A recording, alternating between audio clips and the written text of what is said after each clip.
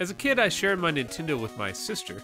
While there were a few games for the system that we both played, there were others that were distinctly hers. She was five years older than me and way hipper than young James, so while I was adolescent boying my way through no brainers like Bad Dudes or Iron Sword, Libby employed a more discerning palette and chose a couple of interesting picks.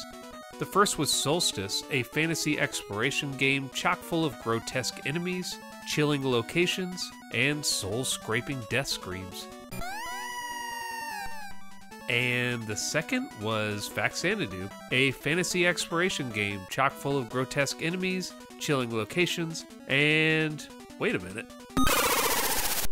So she had a type apparently, and in retrospect, incredibly good taste. I've discussed Solstice already in a separate review, and it's amazing. But I must say, I'm especially excited to finally dedicate some time to one of my favorite games ever made, Faxanadu. Faxanadu was developed by Hudson Soft and published by Nintendo. It's actually part of a much larger series known as Dragon Slayer, which were a bunch of RPG esque titles that mostly appeared on Japanese home computers. One of the more recent facts Faxanadu I've learned about this game is its pronunciation. Having grown up in the pre internet age, I knew this guy as Ryu, this guy as Ninja Gaiden, and this game as Faxanadu. And I know for a fact that there were many, many others out there just like me. However, in recent times, I've been corrected about all three of those pronunciations, including this game, which I've now heard pronounced Fazanadu and Fazanadu. Faxanadu is a spin off of Dragon Slayer 2 Xanadu, and its name combines that subtitle with the alias for the Nintendo in Japan, the Family Computer. In American English, I'd assumed then that this was Fazanadu, but then I remembered that there was an episode of Captain N, the Game Master, that took place in this game's world, and surely they spoke its name out loud. Let's check in and see what Elf King Elvis here says about it. Never have any peace until we drive them off Faxanadu once and for all. Alright then, Captain N has spoken. Case closed. Let us never speak of it again. Anyway, Faxanadu is an action platformer in the vein of Zelda 2 The Adventure of Link, although with less leveling up and more inventory upgrading. The biggest comparison between the two is the combat, which does look and feel very much like Zelda 2's iconic jump slashinating. Unlike that game, Faxanadu follows a much more linear path where you guide your unnamed hero up the world tree, starting at the trunk and working your way up to the branches. Along the way, you'll need to defeat certain enemies or acquire certain items, at which point there's usually someone waiting to be bequeathed upon in exchange for a key or ring that then opens up the next area. Between the fighting sections are a series of towns where you can heal up, purchase stuff, talk to villagers, and just generally take a breather. The townspeople are a little more useful than those in Zelda 2 and help fill in a lot of the story with little tidbits about dwarves and meteorites and whatnot. I mostly find myself avoiding them for no reason at all, just comically leaping over their heads even though they can't block your path in any way. Look at me go! They have some really nice designs to their characters that come in two forms the walking around look, like this cool cat posted up ripping cigs, and the close up look, found mostly in the stores. Certain characters will give you a portrait to gaze upon when you chat them up, and man, these are some really well rendered faces. So unique looking and expressive. I feel like you could stare at any of these dudes and completely write their backstories in your head. Also, pretty sure that all of them are on that elvish crystal, and that's why they can't stop blinking like crazy people. The main dudes you'll need to check in on in every town are the tool guys, who carry all the equipable stuff like weapons, magic, armor, shields, as well as the single use items like red potions and elixirs that heal you, or the Mattock and winged boots, which let you get past certain barriers later on. There's also the Guru, who is the restart point after you die, and who will provide you with the world's most cumbersome password if you're calling it a day. As a kid, I always messed these up when I wrote them down, but nowadays, thankfully, my phone can do all the heavy lifting. The Gurus can also bestow ranks on you based on how many enemies you destroy. As you lose both experience and gold when you die, gaining ranks will then allow you to restart with a set amount of both, so you don't have to grind your way back to rich man status with every game over. You start at novice and can make it to lord if you're really, really diligent. That's cool and all, but that title just doesn't sound as rad to me as Myrmidon or Chevalier, so I think I'm gonna stay down the lower ranks of society, thank you very much. I do, of course, have a lot of nostalgia built up for Faxanadu. I distinctly remember a neighbor telling us that if you talk to the king at the beginning, spend all his money, and then die, you can go back to him and get more cash on top of the items you've already purchased. Sucker! Or this part near the beginning where you can buy the best shield and magic super early, but they are insanely expensive, requiring hours of real life grinding to buy. My sister actually got both of these back in the day, and I don't think ever played the game again after that. The process had been so cumbersome, it turned her off to Faxanadu altogether. Mostly, I really remember this section with the fog. As a kid, I probably played up to this part 20 times, but I found the mist to be so difficult and honestly a little too creepy for my young mind that I'd often just restart the game instead of hunkering down and powering through it. The most distinct thing about Faxanadu that sticks out to me is the atmosphere. This game is creepy. Most of that is conveyed by these grotesque, almost Giger esque enemies that populate the world, like the classic chicken eyeball, this faceless babushka, and this, um, Garabuta? No shit. And check out some of these mini bosses. Cool. Whoa. The dragon guy is probably the least warped of them all, but honestly, as a kid, I was way more frightened of him than old alien sperm over here. Something about the way he moves combined with the chilling entrance music always made me run away immediately.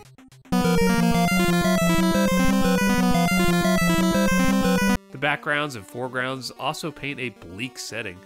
Faxanadu embraces an aesthetic of decay and deformity, where what were probably once normal locations or majestic castles are now so bleak and rotten and twisted.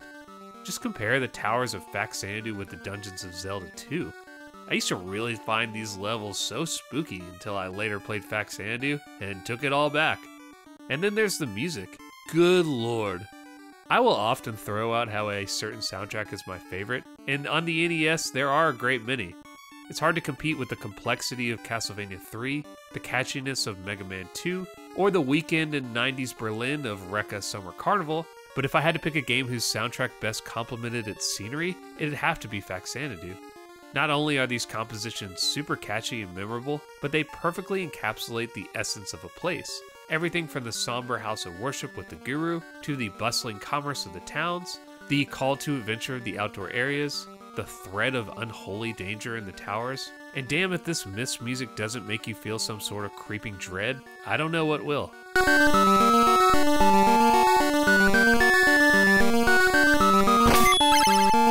So, that's all the good stuff about Faxanadu. Surely there's nothing negative to say about it, right? Well, to start with, the controls are a mixed bag. The hitboxes and hurtboxes around your character or the bad guys, that is the space surrounding the sprites that tells the game if something took damage or not, isn't as perfect as its Zelda contemporary, and there will be many, many times where you'll feel like they unfairly got a cheap shot in on you. And certain enemies exploit this to no end, just giving you zero room to avoid their attacks and forcing you to be absolutely clinical in your own, or else it's back to the mantra. Speaking of which, check out this part where when you climb a ladder, this dude immediately stabs you and knocks you back to the next level. God. And there's no other way to get around this dude. Turns out there is a strategy, which is if you ever so gently nudge your way up the ladder, your character will eventually stand still and allow you to repeatedly rail on this rung blocker. This is far beyond the Medusa head flying bird level of obnoxiously placed enemy and belongs in its own category of practically impossible jackholes. Worse than the combat though is the platforming. You can't run in this game, but your walk speed does pick up momentum as you move. This means that most jumps can't be made from a standstill. That wouldn't be a huge issue except when there's multiple leaps in a row, which then gives you no time to plan your jump timing. Even worse than that, there's often platforming between screens, meaning you'll need to plan out how to perfectly press your buttons with this scrolling break shoved in the middle. And all that wouldn't be that hard, except that the platforms are perfectly placed at a distance where you need to jump from the absolute edge at full speed to make them. I've played Faxanadu a hundred times, and I still struggle with this, even in the easiest sections of the game. While the townspeople you interact with are helpful in their guidance of where to go and how to find certain items, there are still some obtuse moments. Like in the section where you open the three fountains, you'll talk to this guy who will open the final well. Afterwards, you'll go to the main water source that leads to where you need to go next, and what do I do now? Well, it turns out you're supposed to talk to him twice, and on the second chat, he'll give you the ruby ring, which lets you move the block here and drop down the ladder. But if you're like me, you rushed right out of here after the first combo, so you could beat the dragon before the ointment wore off, and now you have to trek back to town, buy another jack key, go back to the tower, wind your way back to the guru, who will give you another joker key, then go back to the old man to get the ring and finally move on. That's silly. Speaking of keys, man, you'll need a lot of them, and unfortunately, you really won't know how many of which type are required until you get to a locked door, at which point you'll probably need to backtrack a ways to buy more. Why do you need so many? Why, they're single use keys, of course. For the most part, you're never that far away from a town to purchase more. That is until this section right here. After you get the black onyx at the end of the mist level, you show it to this guy, who then gives you the ace key, which then opens the door to the final part of the game. Okay, great. So you go inside, walk around, and eventually you'll find a door with a king key lock. Okay, well, I didn't bring one, so let's keep going. You'll then take a different path until you find another door with, you guessed it, a king key lock. Hmm. Let's try one more path, which takes us to this town that doesn't have a key salesman. What the fuck? Yeah, so now you have to travel back to the door that goes to the mist, back through that obscured labyrinth, get back to the last town where that guy sells king keys, make your way all the way back to the black onyx guy to get another ace key, and only then can we now open these doors. And guess what? If you die while trying to get the very important items kept in these areas, you will wake up fresh out of keys and then have to do this whole stupid mist retrieval business all over again. It's just a cruel, purposeful speed bump placed by the developers, whose only purpose is to drag out the length of this part of the game. Fuck off. So, what does all that add up to? How did those criticisms measure up to the positive aspects of the game? Well, I'd absolutely say that Faxanadu is an excellent title for all the reasons I mentioned. And although there are many frustrating and confusing aspects to its design, I do believe they're outweighed by the overwhelming awesomeness of its presentation. I wouldn't put it up there in the same ranking with the almighty and often referenced in this video Zelda 2, but it's ultimately a very different gameplay experience to Z2, and one that absolutely deserves to be played today.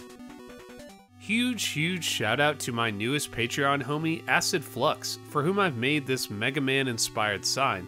It initially said Acid Burn until I realized my mistake and fixed it, but I left my hacker's reference in there anyway. Thanks so much, man. If you want to hack the planet like that cool cat, jump on over to patreon.com slash bigolewords and consider joining the revolution. At some point, I'll make a whole video on Zelda 2 inspired games, including my beloved Faxanadu, but in the meantime, if you haven't seen it, I have made a video like that for the original Legend of Zelda, so somewhere on the screen there should be a link to part 1 and part 2 of my Zelda Clone series. Until next time, thanks for watching.